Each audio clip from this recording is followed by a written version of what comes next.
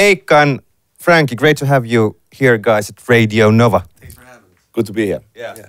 Uh, of course, uh, first we have to talk about new Apocalyptica album Shadowmaker, and the biggest difference between like the earlier albums with this one is of course that Frank, you are with the band. Uh, earlier, you guys have like guest vocalist, but now you decided to stick with the one guy. How did you came up with that idea?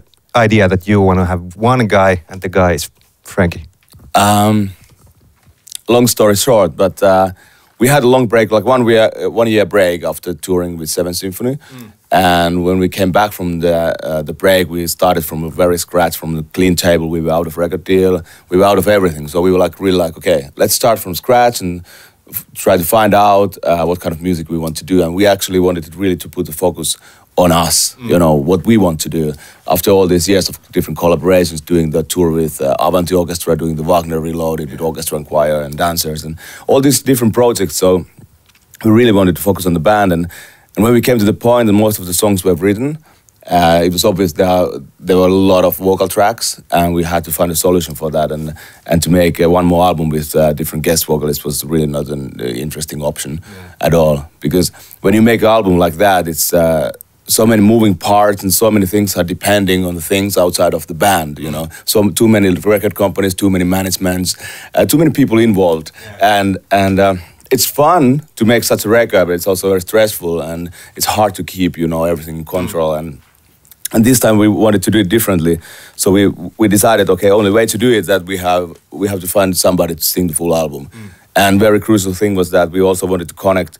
We were touring with Tipe Johnson, who were, who made a great job for five years as a touring singer. But still, the thing was not connecting with the albums because you know having different guy uh, on stage and who, who doesn't sing on any of the records, so it seemed to be a bit confusing for everybody. So we wanted to have a singer who can sing the full album and make the whole touring on the back of the album. And so we made uh, like a quiet audition. We sent out an email inside the music industry that okay, we are looking for a singer, and we got like filtered uh, maybe 20 to 30 different singers.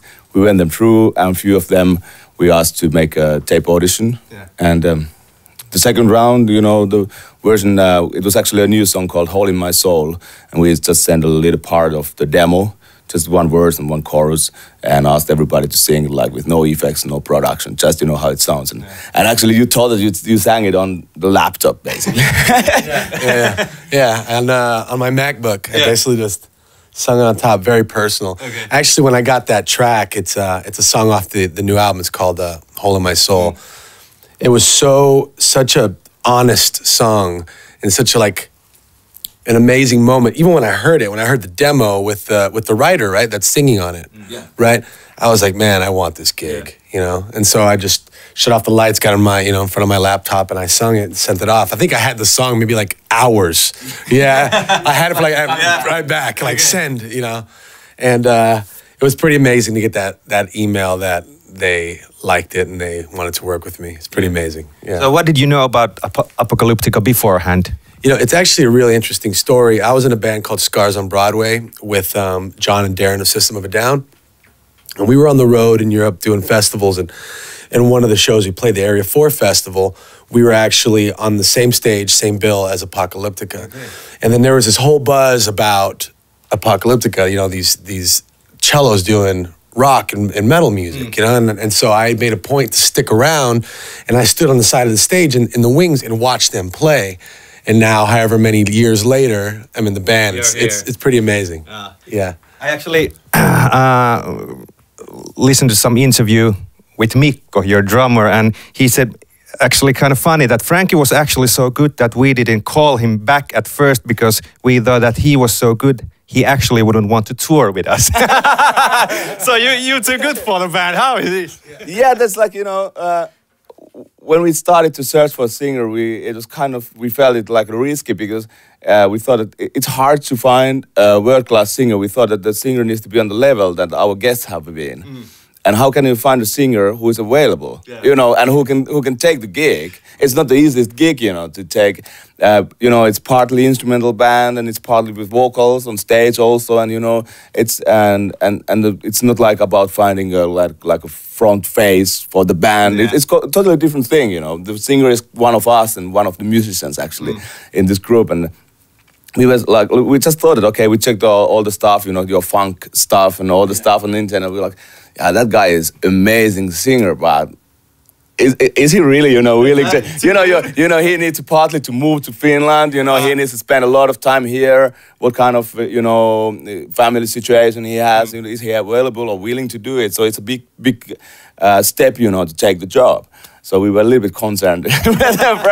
And it was funny that we never met we've been working with same people. We know same people, you know, uh, in the music industry and, uh, and same bands and musicians, but we never met in person. Even we were in the same festival. You know, Ah, okay. in a We actually played two shows together back then. Yeah, we did a second one in Arizona, opening up for Metallica. Yeah. yeah, same bill. Okay. Yeah, it's pretty crazy. So, Frank, now you've been uh, to Finland quite a few times. Yeah. Uh, what is your experience from like Finnish guys and? I don't mean Finnish guys like. Well, you can tell if you have experiences with the Finnish guys, but you know, I have a lot of without yeah, Finnish guys. yeah, yeah. But you know about about Finland and uh, apocalyptica guys. I meant. Well, you know what, man? It's uh, it's actually, and maybe you know the public would be happy to know that these these men are very proud of their country, and so they made a point of like showing me proper Finnish culture and and. uh I, I love it here. It's it's gorgeous here, and people have been very friendly.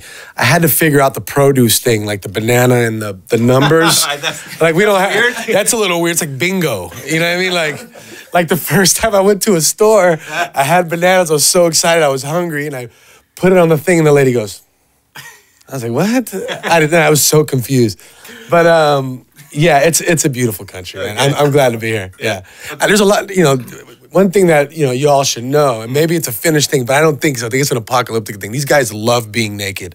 I don't get it. Well, actually, it's a Finnish thing, and we're gonna get naked right now. yeah. Yeah. So you guys been naked together Yeah. quite a few Yeah, times. yeah, well, I've been naked once, but they're naked all the time. Okay, well, that sounds interesting. yeah, but what is the big, biggest dif- difference between like Apocalyptica guys and the other musicians you work with? Because you have like tons of experience with the different lineups and groups. Well, I mean, the first thing is I haven't been in a like a proper band in a long time. Like I, I I've basically been a, a singer for hire. I've worked for a bunch of different artists. So the biggest difference is like being in a situation where it's like you have to compromise. You're in, you know, it's a team effort. You know, like there's not just one person making a decision.